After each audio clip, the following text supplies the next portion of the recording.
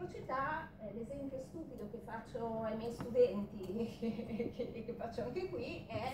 eh, è chiaro che è ben diverso il caffè che mi ha offerto stamattina mio marito rispetto al caffè che ho comprato stamattina al bar.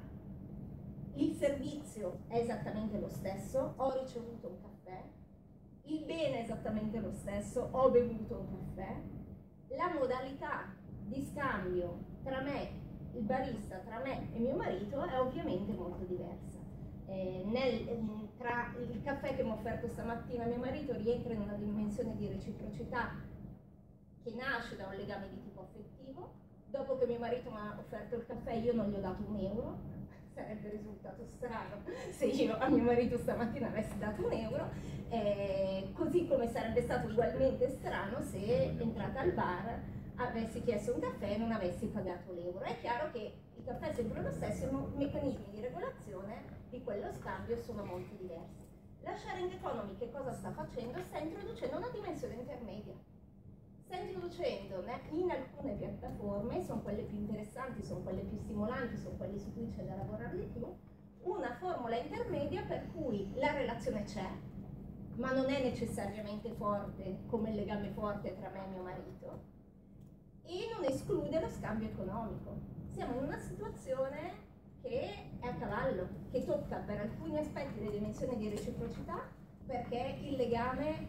è necessario allo scambio del bene e del servizio, ma tocca anche delle dimensioni di mercato perché quel legame è un legame leggero, legame, pensate, non so, eh, bla bla car. È chiaro che eh, un legame c'è perché io vado in macchina per alcune ore con una persona e non posso ignorare completamente la persona con cui condivido un viaggio per alcune ore. E d'altro canto però c'è anche una dimensione di rimborso delle spese. Se un mio parente mi dà un passaggio in auto in linea di massima, dipende dai rapporti che ci sono tra parenti, ma se i rapporti sono buoni, alla fine io non pago la metà del viaggio, eh, se lo faccio con BlaBlaCar pago, ma non pago, non è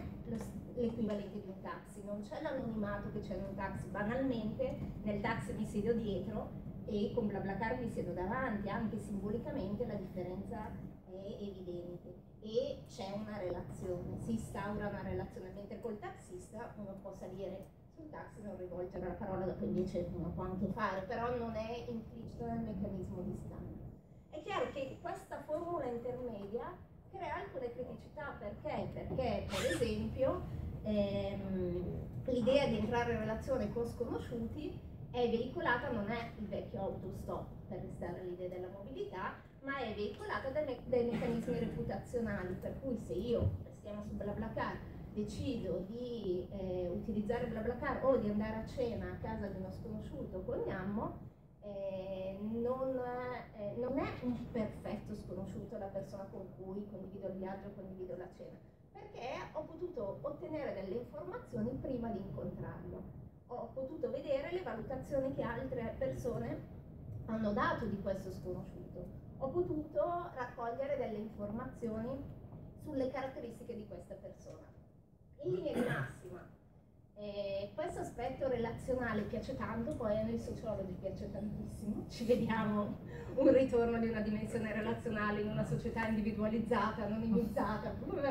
quindi ci piace tantissimo, se c'è la dimensione relazionale noi siamo felici e contenti, non dobbiamo sottolineare l'aspetto invece critico. Per esempio, quello che sta emergendo in tantissime piattaforme sono nuove forme di discriminazione. Le prime ricerche sulle piattaforme di condivisione mostrano per esempio una cosa che a me è sorpreso, perché io mi aspettavo per esempio quello che noi come sociologi chiamiamo omofilia, cioè il fatto che ognuno sceglie persone che gli somigliano. Allora mi aspettavo che le donne preferissero viaggiare con altre donne o andare ospiti a casa di altre donne, che i bianchi preferissero stare con bianchi, che gli afroamericani preferissero stare con afroamericani. Quello che sta emergendo invece è un dato un po' più inquietante e difficilissimo da governare e regolare, è che gli stereotipi, che le seguono gli stereotipi, per cui le prime ricerche stanno dimostrando per esempio che gli afroamericani preferiscono alloggiare a casa di bianchi